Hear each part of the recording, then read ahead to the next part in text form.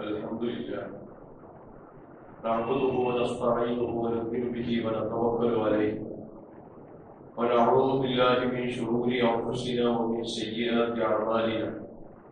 من يهده الله فلا مضل له ومن يضلله فلا هادي له.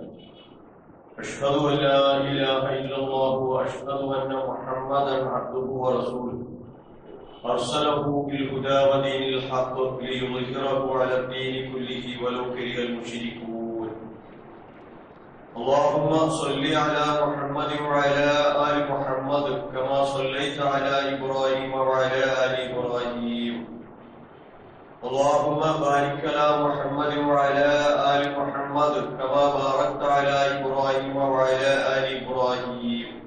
إنك حميد مجيد. أما بعد فإن خير الحديث كتاب الله وخير الهدي هدي محمد صلى الله عليه وسلم وشر الأمور محدثاتها وكل محدثة بدعة وكل بدعة ضلالة. أيها الناس اتقوا الله حق تقاته ولا تموتن إلا وأنتم مسلمون. أعوذ بالله من الشيطان الرجيم. بسم الله الرحمن الرحيم. أحسب الناس أن يتركوا أن يقولوا آمنا وهم لا يفتنون ബഹുമാന്യരായ സത്യവിശ്വാസികളെ വിശ്വാസികളെ അള്ളാഹുവിന്റെ കൽപ്പനകൾ അംഗീകരിച്ചു പ്രവാചകൻ മുഹമ്മദ് മുസ്തഫ സല്ലല്ലാഹു അലൈഹി വസല്ലമയുടെ നിർദ്ദേശങ്ങൾ ജീവിതത്തിൽ നിലനിർത്തി യഥാർത്ഥ വിശ്വാസികളായി തക്വയുള്ളവരായി ജീവിക്കണമെന്ന് വസീയത്ത്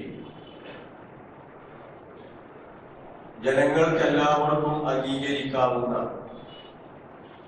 ആശയത്തിലേക്ക് നന്മയുടെ മേഖലയിലേക്ക് ജനങ്ങളെ ക്ഷണിക്കുക എന്നത് നമ്മളുടെ ബാധ്യതയാണ് എന്ന് നമ്മൾ സൂചിപ്പിക്കുകയുണ്ടായി. അഥവാ ഈ പ്രപഞ്ചത്തെ മുഴുവൻ ശ്രദ്ധിച്ചു പരിപാലിക്കുന്ന നമ്മയും നമ്മളുടെ മുൻഗാമികളെയും ശ്രദ്ധിച്ച് പരിപാലിക്കുന്ന ഏകനായ സൃഷ്ടാവിനെ കീഴ്പ്പെട്ട് അവനെ ആരാധിച്ചു അവന്റെ കൽപ്പനകൾക്ക് വിധേയമായി ജീവിക്കുക എന്ന നന്മയുടെ സന്ദേശത്തിലേക്ക് ജനങ്ങളെ ക്ഷണിക്കുക. അതോടൊപ്പം ആ മേഖലയിൽ വല്ല പ്രയാസങ്ങളും വരികയാണെങ്കിൽ നന്മ കൊണ്ട് തന്നെയാണ് തിന്മകളെ പ്രതിരോധിക്കേണ്ടത് എന്നുകൂടി നമ്മൾ അപ്പൊ നന്മയുടെ മേഖലയിൽ പ്രവർത്തിച്ചു മുന്നേറുക എന്ന ബാധ്യത ഏറ്റെടുത്ത സമൂഹം. ഇന്ന നിങ്ങൾ ഒരു ഉത്തമ സമൂഹമാണ്. ജനങ്ങൾക്ക് വേണ്ടി രംഗത്ത് കൊണ്ടുവരപ്പെട്ടവർ. നന്മ കൽപ്പിക്കുകയും അല്ലെങ്കിൽ സദാചാരം ജനങ്ങളെ ഉപദേശിക്കുകയും തിന്മയെ വിലക്കുകയും അതിനെതിരെ ബോധവൽക്കരണം നടത്തുകയും ചെയ്യലാണ് നിങ്ങളുടെ ബാധ്യത. ഈ ബാധ്യതയിൽ പലപ്പോഴും പരീക്ഷണങ്ങൾ നേരിടേണ്ടി വരുമെന്നാണ് വിശുദ്ധ ഖുർആൻ നമ്മെ ബോധ്യപ്പെടുത്തുന്നത്. അഥവാ വിശ്വാസി സമൂഹത്തിന് അവരുടെ കർമ്മ മേഖലകളിൽ പ്രയാസങ്ങൾ തരണം ചെയ്യേണ്ടി വരും. അങ്ങനെയുള്ള ഘട്ടങ്ങളിൽ ക്ഷമിക്കുകയും അതോടൊപ്പം പടച്ചവനിൽ തവക്കുലാക്കുകയും ചെയ്യുക എന്നതാണ് ബാധ്യത ശുദ്ധ ഖുർആൻ സൂറത്ത് ഒന്നാമത്തെ വചനത്തിൽ തന്നെ ഒരു ചോദ്യം ഉന്നയിച്ചിട്ടുണ്ട്. അയ്യുറക്കും മനുഷ്യരൊക്കെ വെറുതെ അങ്ങ് വിടും. പടച്ചവൻ അവരെ വെറുതെ അങ്ങോട്ട് വിടുമെന്ന് അവർ വിചാരിക്കുന്നുണ്ടോ? അയ്യക്കൂലു ആമന്ന. ഞങ്ങൾ വിശ്വാസികളായിട്ടുണ്ട് എന്ന് പ്രഖ്യാപിച്ചതിന്റെ പേരിൽ. ബഹുലായുസ്തനു പരീക്ഷണങ്ങൾക്ക് വിധേയമാവാതെ. അപ്പൊ പരീക്ഷണങ്ങൾക്ക് വിധേയമാവാതെ ഒരു വിശ്വാസിക്ക് മുന്നോട്ട് പോവാൻ സാധ്യമല്ല എന്നാണ് ഖുർആൻ നമ്മെ ബോധ്യപ്പെടുത്തുന്നത്. പക്ഷെ ഈ പരീക്ഷണങ്ങളെ അതിജയിക്കണമെങ്കിൽ പ്രയാസങ്ങളെയും പ്രതിസന്ധികളെയും തരണം ചെയ്യാൻ വേണ്ടി രണ്ടു മാർഗങ്ങളാണ് വിശുദ്ധ ഖുർആൻ എടുത്തു പറഞ്ഞിട്ടുള്ളത്. അഹുൽ കിതാബിനെ കുറിച്ച് സൂചിപ്പിച്ചിടത്ത് സൂറത്തു മായിതയിൽ അവരുടെ തിന്മകൾ നിമിത്തം അവർക്ക് ജീവിതത്തിൽ നിന്ദ്യതയും അതുപോലെ തന്നെ പ്രയാസങ്ങളും നേരിടേണ്ടി വന്നു എന്ന് ഖുർആൻ എടുത്തു പറഞ്ഞിട്ടുണ്ട്.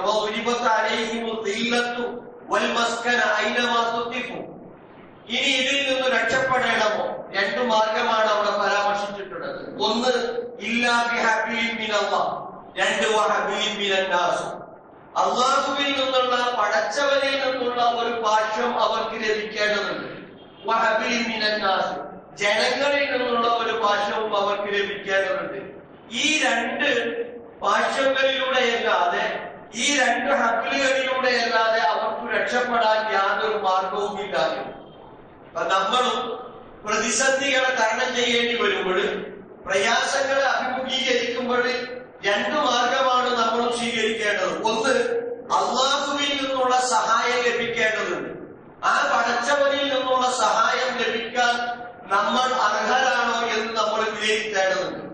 അള്ളാഹുവിൽ നിന്നുള്ള സഹായം ലഭിക്കണമെങ്കിൽ നമ്മൾ പടച്ചവരെ സഹായിക്കേണ്ടതുണ്ട്.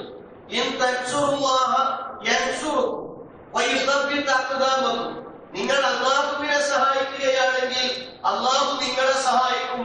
നിങ്ങളുടെ പാദങ്ങൾക്ക് അവ സ്ഥൈര്യം നൽകും. എങ്ങനെയാണ് പഠിച്ചവനെ പ്രപഞ്ചനാഥനെ അള്ളാഹുവിനെ സഹായിക്കേണ്ടത്?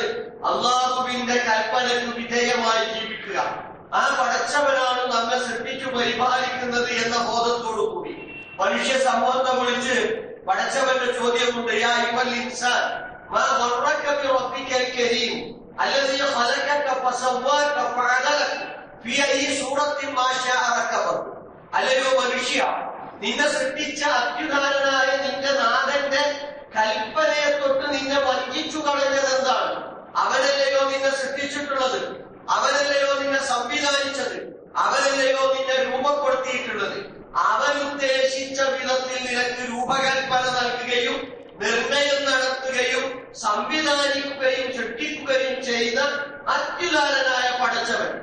ആ പടച്ചവന്റെ കൽപ്പനക്ക് വിധേയമായിട്ടാണ് നീ ജീവിക്കേണ്ടത്. ആ കൽപ്പനയെ തൊട്ട് നിന്നെ വഞ്ചിച്ചു കളഞ്ഞത് എന്താണ് പലപ്പോഴും മനുഷ്യരെ വിശ്വാസി സമൂഹത്തെ പോലും അള്ളാഹുവിന്റെ കൽപ്പനകളിൽ നിന്ന് അകന്നു ജീവിക്കാൻ പ്രേരിപ്പിക്കുന്നത് താല്പര്യങ്ങളാണ് ഇഹലോകത്തിൽ അവരെ പിടികൂടുന്ന താല്പര്യങ്ങളുണ്ട് പ്രവാചകൻ അലൈഹി വസല്ലമ തന്റെ സമൂഹത്തിന് വരുന്ന ചില പ്രതിസന്ധികളെ കുറിച്ച് പരാമർശിക്കുകയുണ്ടായി. പ്രവാചകന്റെ കാലഘട്ടത്തിൽ ഭക്ഷണത്തളികയിലേക്ക് തീറ്റക്കൊതിയന്മാരായ ആളുകൾ പാഞ്ഞെടുക്കുന്നത് പോലെ എന്റെ സമൂഹത്തിനെതിരെ ആളുകൾ നാനാ ഭാഗത്തു നിന്നും ശത്രുക്കൾ വരും. അപ്പോൾ പ്രവാചകനോട് അനുയായികൾ ചോദിച്ചു അല്ല പ്രവാചകനെ അന്ന് എണ്ണത്തിലും വണ്ണത്തിലും ഒക്കെ കുറേ കുറവായിരിക്കുമോ?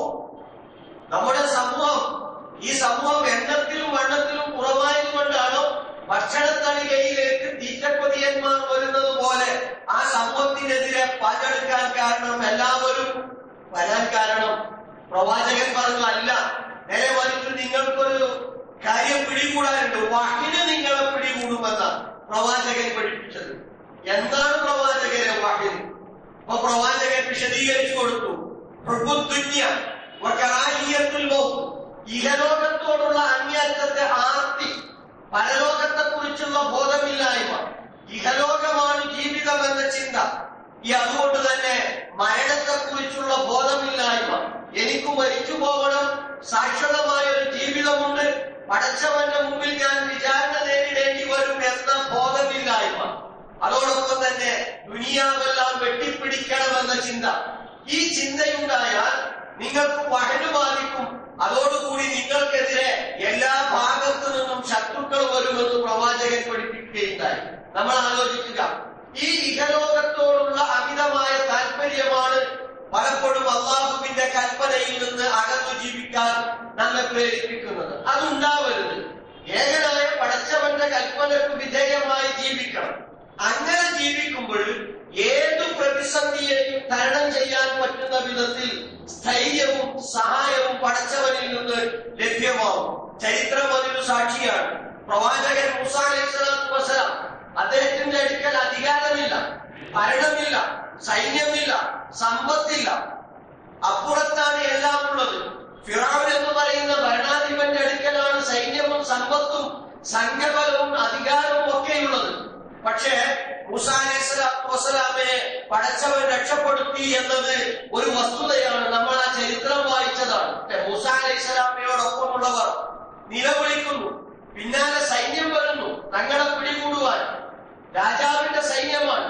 മുന്നിൽ കടലാണ് അതിലേക്ക് ഇറങ്ങിയാൽ മരണം. രണ്ടു രീതിയിലും മരിക്കാൻ തയ്യാറാവണം. ഇതായിരുന്നു അവരുടെ അവസ്ഥ. കടലിലേക്ക് ഇറങ്ങിയാൽ മരണം സുനിശ്ചിതം അവിടെ നിൽക്കുകയാണെങ്കിൽ പിന്നാലെ വരുന്ന ഫിറൗനും സൈന്യവും അതിക്രൂരമായി കൊലപ്പെടുത്തു എന്തു ചെയ്യും മൂസ? മൂസ ഇന്നാലെ മുതറക്കൂൻ മൂസ അലൈഹി സ്വലാമയുടെ അനുയായികൾ പറഞ്ഞു സൂറത്ത് ഷുറായിൽ അന്നത് വിശദീകരിക്കുന്നുണ്ട്. നമ്മൾ പിടിക്കപ്പെട്ടല്ലോ. അവിടെ നോക്കൂ നിങ്ങൾ. പിടിക്കപ്പെട്ടു എന്ന് ആ സമൂഹം പറഞ്ഞപ്പോൾ മൂസ അലൈഹിസ്സലാം ആ സമൂഹത്തെ സമാധാനിപ്പിച്ചിട്ടുണ്ട്. അല്ല നിശംശയം. നിങ്ങൾ പിടിക്കപ്പെടുന്ന പ്രശ്നമേ ഇല്ല നിങ്ങൾ കടലിന്റെ മുന്നിലാണ്. യാത്ര ചെയ്യാൻ പറ്റിയ വാഹനം നിങ്ങളുടെ അടുക്കലില്ല. പിന്നീട് ഫിറാവും മുണ്ടപ്പടയും വരുന്നുണ്ട്. പക്ഷെ എന്നാലും നിങ്ങൾ പിടിക്കപ്പെടുന്ന പ്രശ്നമേ ഇല്ല. എന്തേ കാരണം? ഇന്ന മഴയുറപ്പി സയഹ്ദി എന്റെ കൂടെ എന്റെ റബ്ബുണ്ട്. എല്ലാത്തിനെയും സൃഷ്ടിച്ചു പരിപാലിക്കുന്ന നാഥനുണ്ട് ഫിറാവിനെ സൃഷ്ടിച്ച ഫിറാവിന്റെ പടയെ സൃഷ്ടിച്ച ഈ പ്രപഞ്ചത്തെ സൃഷ്ടിച്ച കടലിനെ സംവിധാനിച്ച ആ നാഥൻ എന്റെ കൂടെയുണ്ട്. ആ നാഥൻ എനിക്ക് വഴി കാണിച്ചു തരും. ചരിത്ര വസ്തുത. നമ്മെ അറിയിച്ചിട്ടുണ്ട്.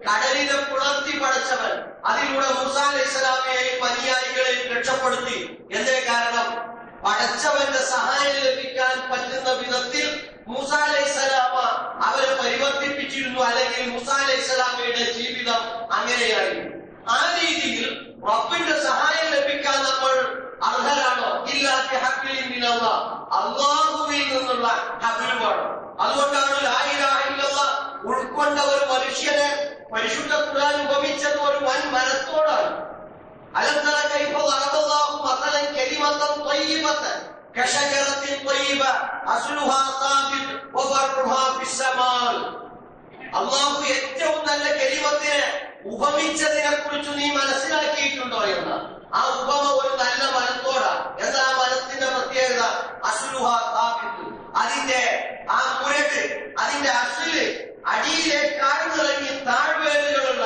ഉറച്ച ഒരു വടവൃക്ഷമാണ് കാറ്റിലും കോളിലും അത് മറിഞ്ഞു വീഴുകയില്ല ഏതു പ്രതിസന്ധിയിലും നന്മയുടെ വക്താവായി സ്നേഹത്തിന്റെയും സാഹോദര്യത്തിന്റെയും പ്രതീകമായി പിടിച്ചു നിൽക്കാൻ ഒരു വിശ്വാസിക്ക് സാധിക്കും അവൻ ഒരു മേഖലയിലും ഒരു ഘട്ടത്തിലും അവൻ തീവ്രവാദിയോ ഭീകരവാദിയോ ആകുന്ന പ്രശ്നമേ ഇല്ല. കാരണം അവന്റെ അസുര് വളരെ കുറച്ചതാണ് ആ പടച്ചവനിലുള്ള അചഞ്ചലമായ വിശ്വാസമുണ്ട് അതുകൊണ്ട് തന്നെ ആ റബ്ബിന്റെ സഹായം എനിക്കുണ്ടാവുമെന്ന ആ ബോധത്തോടുകൂടി ക്ഷമയോടെ സഹനത്തോടെ നന്മയുടെ മേഖലയിൽ ഉറച്ചു നിൽക്കാൻ അവന് സാധിക്കും. മരത്തോടാണ് ഉപമിച്ചത്. നോക്കൂ നിങ്ങൾ മരങ്ങൾ പരസ്പരം അവർ പോരടിക്കാറില്ല.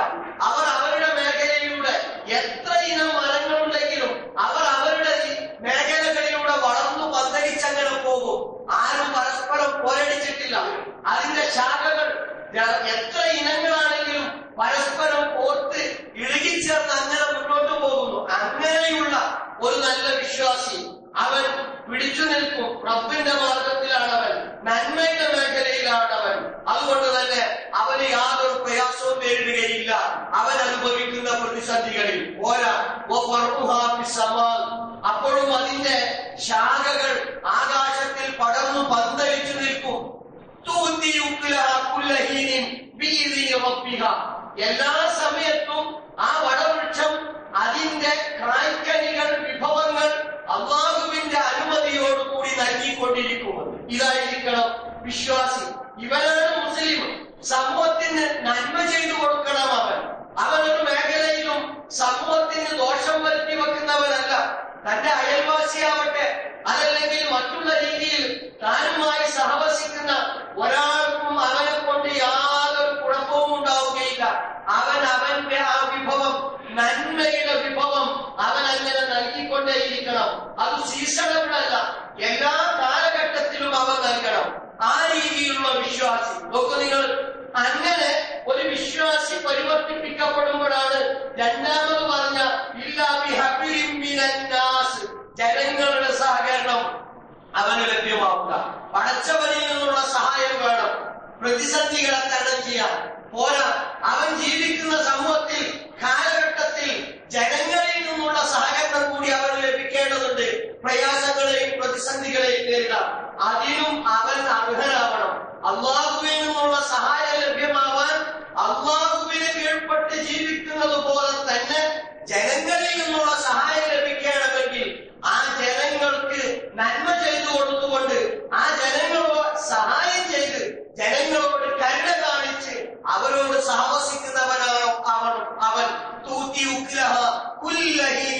റബ്ബിഹ.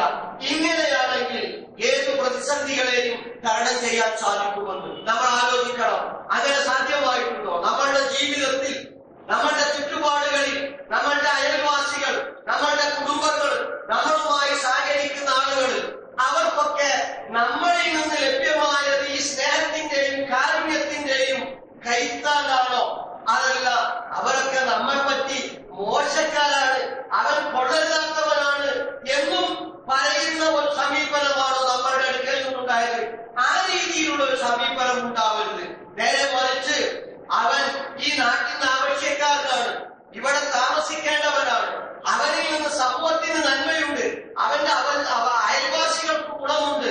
ജാതിയോ മതമോ വർഗമോ നോക്കാതെ പാർട്ടിയോ ഗ്രൂപ്പുകളോ നോക്കാതെ മനുഷ്യരുടെ പ്രശ്നങ്ങളിൽ ഇടപെടുന്നവനാണ് അവൻ ഖുർആൻ പ്രവാചകൻ വിശ്വാസികളെ രണ്ടു തരമാക്കി തിരിച്ചിട്ടുണ്ട് ഒന്ന് സാധാ മൂമിൻ മറ്റൊന്ന് അഫ്വലുൽ മൂമിനാണ് ഏറ്റവും നല്ല മൂമിൻ അതിശ്രേഷ്ഠനായ മൂമിൻ ആരാണ് അതിശ്രേഷ്ഠനായിട്ടുള്ള മൂമിൻ അവൻ ജനങ്ങളോട് ഇടപഴകുകയും ജനങ്ങളിൽ നിന്നുള്ള പ്രയാസങ്ങളിൽ ക്ഷമ കൈക്കൊള്ളുകയും ചെയ്യുന്നവനാണ് യുഹാലിത്തുന്നാസ എന്ന ജനങ്ങളുമായി ഇടപഴകും എന്ന് പറഞ്ഞാൽ ജനങ്ങളുടെ പ്രശ്നങ്ങളിലേക്ക് അവൻ ഇറങ്ങിച്ചെല്ലും എന്നിട്ട് അത് പരിഹരിക്കുന്നതിന് വേണ്ടി അവൻ പരിശ്രമിക്കും ചിലപ്പോൾ ആ മാർഗത്തിൽ അവൻ പ്രയാസങ്ങൾ നേരിടേണ്ടി വരുമ്പോൾ അതിൽ ക്ഷമ കൈക്കൊള്ളുന്നവനാണ് അഫുദലുൽ മൂമിൻ ഏറ്റവും നല്ല മൂമിനിൽ എന്ന് ആ മൂമിനിന്റെ വിധാനത്തിലേക്ക് നമ്മൾ എത്തിക്കഴിഞ്ഞാൽ അവിടെ ജനങ്ങളിൽ നിന്നുള്ള സഹകരണം ലഭ്യമാകും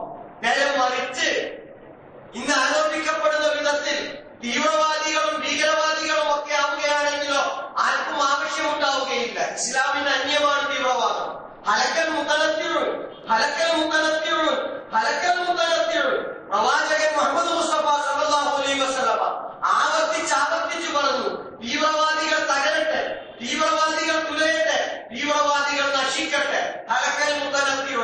മതത്തിന്റെ മേഖലയിൽ പോലും തീവ്രവാദം പാടില്ല എന്ന പരിശുദ്ധ ഖുർആനിന്റെ നിർദ്ദേശം അഹ്ലു കിതാബിനെ വിളിച്ചിട്ട് അല്ല കൽപ്പിച്ചു. ലാ താഴ്ലു പ്രീതിയിരിക്കും ലാ താഴ്ലു പ്രീതിയിരിക്കും നിങ്ങൾ നിങ്ങളുടെ മതത്തിന്റെ മേഖലയിൽ അതിൽ കവിയാൻ പാടില്ല. നിങ്ങൾ ഒരു ഉമ്മത്തൻ വശത്താണ് ഒരു മധ്യമ സമൂഹമാണ്. സമൂഹത്തിന് വേണ്ടി രംഗത്ത് കൊണ്ടുവരപ്പെട്ടവരാ. നിങ്ങൾ മാതൃകായോഗ്യരായിരിക്കണം. തീവ്രവാദമോ ഭീകരവാദമോ വർഗീയതയോ ഇസ്ലാമിന് പരിചയമില്ല. അത് ഇസ്ലാമിന് അന്യമാണ്. അപ്പോൾ പലപ്പോഴും ചോദിക്കാറുണ്ട് ഇന്ന് കേൾക്കുന്ന ഐ എസ് ഐ എസ് ഇതൊക്കെ നിങ്ങളുടെ എന്ന് ശരിയാണ് പേരിൽ അവർ ഇസ്ലാമിനെയാണ് പ്രതിനിധീകരിക്കുന്നത്. പക്ഷെ ഇസ്ലാമുമായി അവർക്കൊരു ബന്ധവുമില്ല. അവരുടെ ചരിത്രം പരിശോധിച്ചാൽ അവരുടെ പ്രവർത്തനങ്ങൾ പരിശോധിച്ചാൽ അന്ന് ചരിത്രത്തിന്റെ ആ ഉസ്മാൻ അള്ളാഹുവിന്റെ കാലഘട്ടത്തിൽ രൂപം കൊണ്ട ഹവാരിജികളുമായിട്ടാണ് അവർക്ക് ബന്ധം. അവരല്ലാത്തവരെ മുഴുവൻ കാപ്പറാക്കുകയും തള്ളിപ്പറയുകയും മറ്റൊരു ഖിലാഫത്ത് സ്ഥാപിക്കുകയും ആഹ്വാനം അതിന് എന്തും ചെയ്യാൻ അവർക്ക് വഴിയില്ലാത്തവരാണ്. അതാണ് ഹവാരിജികളുടെ ചരിത്രം. അതിന് പിൻബലം നൽകിക്കൊണ്ട് ഷിയാക്കളുമുണ്ട് എന്നത് വസ്തുതയാണ്. മറച്ചു വച്ചിട്ട് കാര്യമില്ല. നമ്മൾ മനസ്സിലാക്കാതിരുന്നിട്ടും കാര്യമില്ല. രണ്ടു വിഭാഗവും ഇസ്ലാമിന്റെയും മുസ്ലിങ്ങളുടെയും ചരിത്രത്തിൽ തന്നെ അറിയപ്പെട്ടിട്ടുള്ള ശത്രുക്കളാണ്. ഇവരാണ് ഇതിന്റെ പിന്നിൽ പ്രവർത്തിക്കുന്നത് എന്ന് നമ്മൾ തിരിച്ചറിയണം. മനുഷ്യനെ കൊല്ലുക എന്നത് ഇസ്ലാം അങ്ങേറ്റം വിലക്കിയ കാര്യ ഹരണമല്ല പടച്ചവൻ പവിത്രത കൽപ്പിച്ച ആത്മാവിനെ നിങ്ങൾ കൊല്ലരുത് എന്ന് അങ്ങനെ അന്യായമായി ആരെങ്കിലും ഒരുവനെ കൊന്നാൽ ഫകാന്നമാ ഖതലന്നാസ ജമീഅ. മുഴുവൻ ആളുകളെയും കൊന്നതിന് തുല്യമാണ് എന്ന് അപ്പൊ ന്യായമുണ്ടെങ്കിൽ കൊല്ലാമെന്നൊരു വസ്തുത അവിടെയുണ്ട് ആരെയാണ് കൊല്ലേണ്ടത് കൊലയാളിയെ കൊല്ലാം അല്ലെങ്കിൽ നാട്ടിൽ ഫസാദുണ്ടാക്കുന്നവനെ ആ വിധത്തിൽ ആ നാട്ടിലെ ശിക്ഷാ നിയമം അനുസരിച്ച് അവനെ ആ, പ്രതിക്കൂട്ടിൽ കയറ്റി അവനെ ശിക്ഷിക്കാവുന്നതാണ് പക്ഷെ ഇത് നിർവഹിക്കേണ്ടത് വ്യക്തികളല്ല സംഘങ്ങളല്ല അല്ലെങ്കിൽ പ്രസ്ഥാനങ്ങളല്ല ഇത് നിർവഹിക്കേണ്ടത് ആ നാട്ടിലെ ഭരണകൂടമാണ് കൊലയാളിയെ പിടികൂടേണ്ടതും അവൻ കുറ്റവാളിയാണോ എന്ന് ഉറപ്പുവരുത്തേണ്ടതും അവന്റെ മേൽ ശിക്ഷ നടപ്പാക്കേണ്ടതും വ്യക്തികളോ സംഘങ്ങളോ സംഘടനകളോ അല്ല നേരെ മറിച്ച് ഭരണകൂടത്തിന്റെ ചുമതലയാണ് എന്ന് നമ്മൾ തിരിച്ചറിയേണ്ടതുണ്ട് അതിനപ്പുറം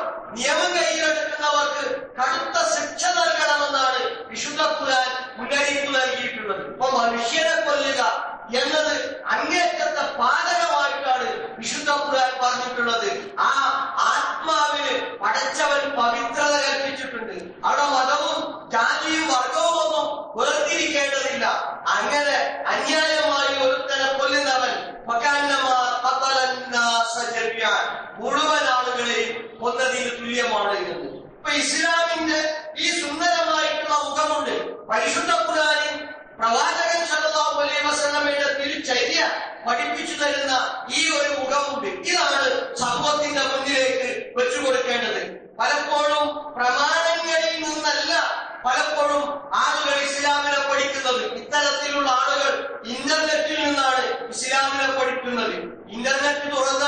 ഇസ്ലാമുമായി ബന്ധപ്പെട്ട ഒരുപാട് കാര്യങ്ങളുണ്ട്. പക്ഷേ പലപ്പോഴും ഇസ്ലാമുമായി അതിന് യാതൊരു ബന്ധവും ഉണ്ടാവുകയില്ല.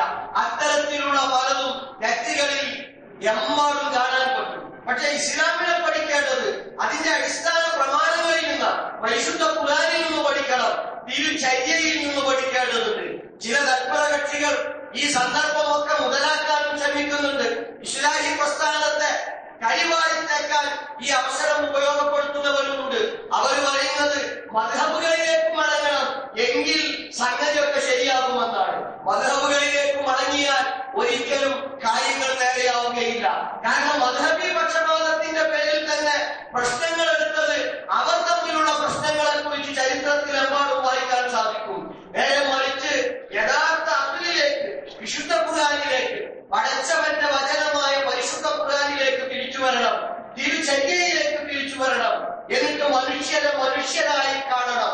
ആ മനുഷ്യർക്ക് എല്ലാവിധത്തിലുള്ള സഹായ സഹകരണങ്ങളും നൽകുക എന്നതാണ് ഒരു മുസ്ലിമിന്റെ ഒരു വിശ്വാസിയുടെ ബാധ്യത എന്ന് തിരിച്ചറിഞ്ഞ് ആ ജനങ്ങളുടെ സഹകരണം ലഭ്യമാകുന്ന വിധത്തിൽ അവരുമായി സഹകരിച്ച് പടച്ചവന്റെ കൽപ്പനക്ക് വിധേയമായി ജീവിച്ചാൽ ഏതു പ്രതിസന്ധിയെയും നേരിടാൻ വിശ്വാസികൾക്ക് സാധിക്കും. ഇന്നും ഭൂമി നിങ്ങൾ വിശ്വാസികളാണോ? നിങ്ങളാണ് അത്യുന്നതന്മാർ. ആർക്കും നിങ്ങളെ പരാജയപ്പെടുത്താൻ സാധിക്കുകയില്ല. അതിനാ വിശ്വാസം കൃത്യമായിരിക്കണം. പടച്ചവൻ പഠിപ്പിച്ച രീതിയിൽ പ്രവാചകൻ പഠിപ്പിച്ച രീതിയിൽ വിശ്വാസിയാവുകയും ഓരോ വിശ്വാസത്തോടൊപ്പം അതിനനുസരിച്ച് കർമ്മത്തിന്റെ മേഖലയിൽ ഇറങ്ങുകയും ചെയ്താൽ ഇല്ലല്ലതീന ആമനു വിശ്വസിക്കുകയും കർമ്മങ്ങൾ ആ രീതിയിൽ അനുഷ്ഠിക്കുകയും ചെയ്താൽ അവനാണ് വിജയിക്കാൻ സാധിക്കുക. അവനാണ് യഥാർത്ഥ വിശ്വാസം.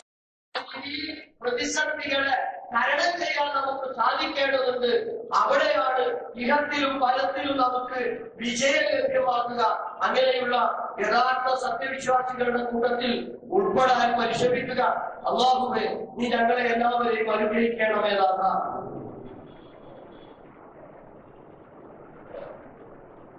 الحمد لله والصلاة والسلام على رسول الله وعلى آله وصحبه أجمعين أما بعد أيها الناس اتقوا الله حق تقاته ولا تموتن إلا وأنتم مسلمون അള്ളാഹുവിന്റെ കൽപ്പനകൾ അംഗീകരിച്ചു പ്രവാചകൻ മുഹമ്മദ് മുസ്തഫ സല്ലല്ലാഹു അലൈഹി വസല്ലമയുടെ നിർദ്ദേശങ്ങൾ ജീവിതത്തിൽ നിലനിർത്തും യഥാർത്ഥ വിശ്വാസികളായി തത്വയുള്ളവരായി ജീവിക്കണമെന്ന് വസീകരിച്ചു ഒരു വിശ്വാസി എന്ന നിലയിൽ പടച്ചവന്റെ കൽപ്പനക്ക് വിധേയമായി ജീവിക്കപ്പെടും. അവിടെയാണ് അള്ളാഹുവിന്റെ സഹായം ലഭിക്കുക. അതോടൊപ്പം തന്നെ ജനങ്ങൾക്ക് അവൻ ആവശ്യക്കാരനായിരിക്കണം. അഥവാ ജനങ്ങളോടുള്ള ആ സഹകരണം. അവൻ നമുക്ക് ആവശ്യക്കാരനാണ് എന്ന ബോധമുണ്ടാകും. അങ്ങനെ ആവേണമെങ്കിൽ നമ്മൾ നമ്മളുടെ സ്വഭാവത്തെയാണ് ക്രമപ്പെടുത്തേണ്ടത്. വിശുദ്ധ ഖുർആൻ പഠിപ്പിച്ച ഒരുപാട് നല്ല സ്വഭാവങ്ങൾ. ആ സ്വഭാവങ്ങളൊക്കെ സ്വായത്തമാക്കണം പടച്ചവന് കീഴ്പ്പെട്ട് പടച്ചവനെ ആരാധിച്ച് ജീവിക്കണം എന്ന് പറഞ്ഞപ്പോൾ മാതാപിതാക്കളോടുള്ള സഹവാസത്തെ കുറിച്ച് ഖുർആൻ എടുത്തു പറഞ്ഞു.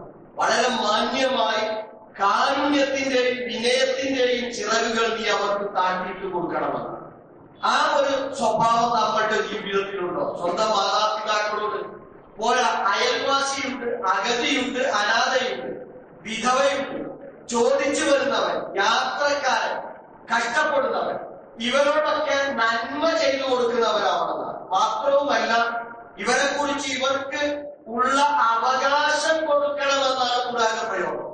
ചോദിച്ചു വരുന്നവരെ കുറിച്ച് പറഞ്ഞപ്പോൾ വിശ്വാസിയുടെ ഗുണം പറഞ്ഞപ്പോൾ ഖുർആൻ എടുത്തു പറഞ്ഞത് ഹക്കുല്ലി സായിരി വൽ മഹ്റൂന.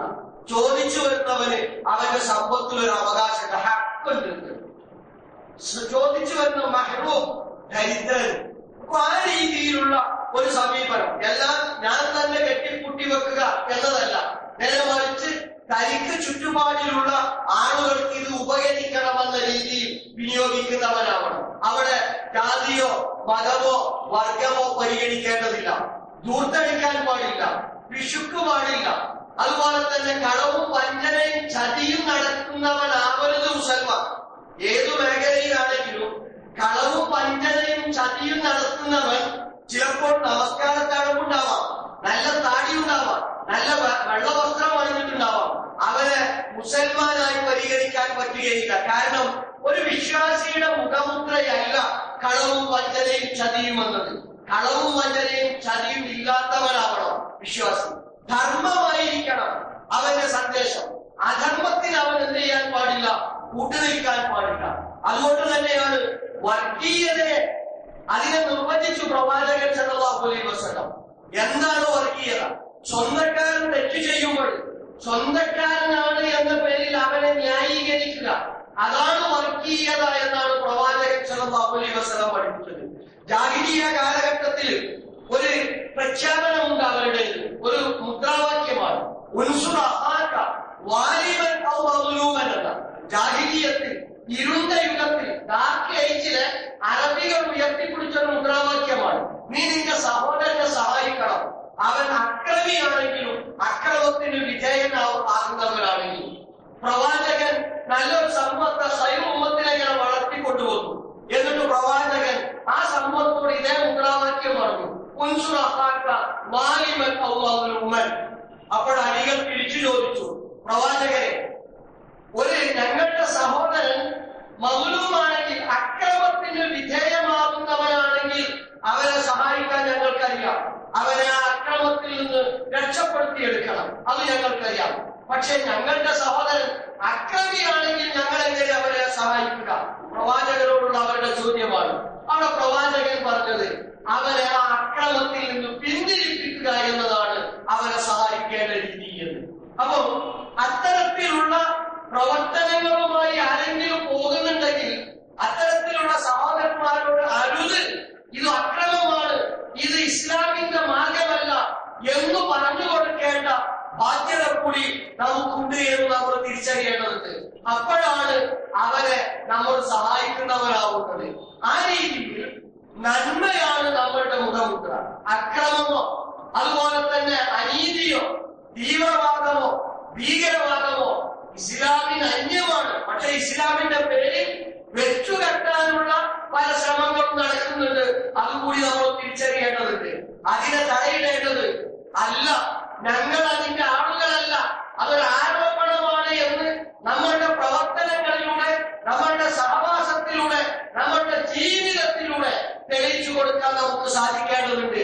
അങ്ങനെ തെളിയിച്ചു കൊടുക്കുമ്പോൾ അവിടെയാണ് ഭാവി നമ്മൾ പ്രതിനിധാനം ചെയ്യുന്ന പടച്ചവൻ സമൂഹത്തിന് വേണ്ടി മനുഷ്യകുലത്തിന് വേണ്ടി മുഴുവൻ അവതരിപ്പിച്ചിട്ടുള്ള ആ സമാധാനത്തിന്റെ സന്ദേശം ഇസ്ലാം എന്ന് പറഞ്ഞാൽ പരിപൂർണമായി ജീവിതത്തെ പടച്ചവന് കീഴ്പ്പെടുത്തുക എന്നതാണ്.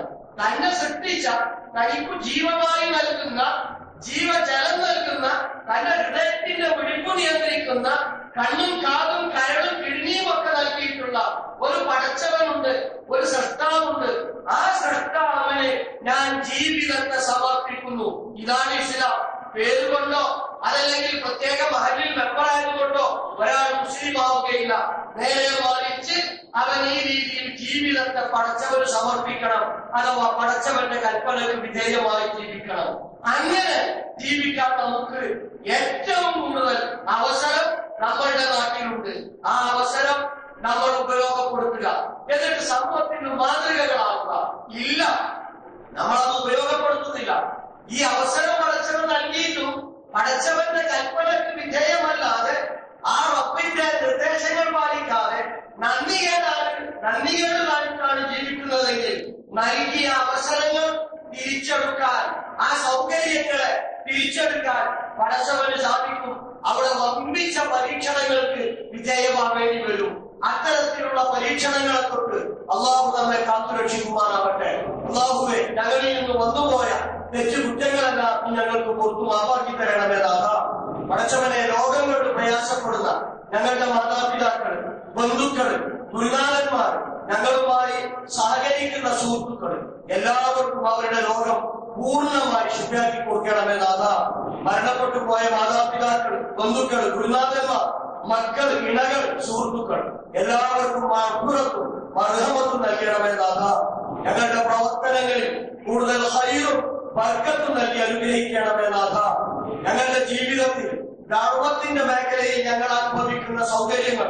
പഠിച്ചവനെ നീ കരിഞ്ഞരുളിയ ഈ സൗകര്യങ്ങളെ നീ നിലനിർത്തി തരണമേ നാഥ. ഞങ്ങളിൽ നിന്ന് നീ അതിനെ എടുത്തു കളയരുതേ നാഥ. ഞങ്ങളുടെ പ്രവർത്തനങ്ങളിൽ കൂടുതൽ ഹൈറും വർക്കത്തും നൽകി അനുഗ്രഹിക്കണമേ നാഥ. ഇസ്ലാമിനെയും മുസ്ലിങ്ങളെയും ശത്രുക്കളെ തൊട്ട് കാത്തുരക്ഷിക്കണമേ നാഥ. ഞങ്ങളുടെ எல்லாவித துரந்தங்களையும் காத்து ரட்சிக்கிறோம்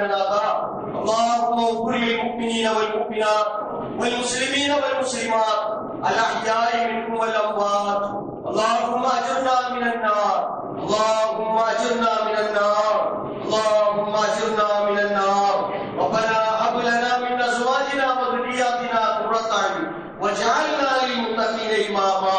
ربنا اتنا في الدنيا حسنه وفي الآخرة حسنة وقنا عذاب النار ربنا تقبل منا دعاءنا وأعمالنا إنك أنت السميع العليم وتب علينا إنك أنت التواب الرحيم ഇന്നത്തെ കലക്ഷൻ ദാഴ്വത്തിന് വേണ്ടിയുള്ളതാണ് എല്ലാവരും